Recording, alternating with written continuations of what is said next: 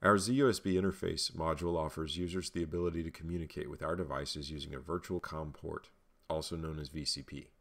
We use the FTDI FT232RL interface chip so you are guaranteed the best possible converter available. Virtual COM port communications is easy to use in any operating system, including Windows, Mac, Linux, Android, and many more. FTDI is a great company. They stay on top of their drivers, supporting both 32 and 64 bit operating systems. Let's take a look at using a USB interface with our controllers. First, you will note the familiar shape of the ZUSB interface, which is similar to the Digi.com XBee footprint. When you plug the ZUSB into the USB port, the USB LED will light up once the drivers have been properly initialized. If you don't see the USB LED light up, you may need to get a driver installed for your operating system. I'm using Windows 10 for this video, which includes drivers. However, if you need to install drivers for a different operating system, you may need to visit ftdichip.com.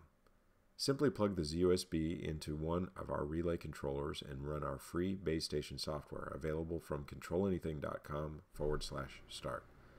Base station will show you a list of available USB devices. NCD controllers have a default baud rate of 115.2K baud. Click OK and you are ready to start using our controllers.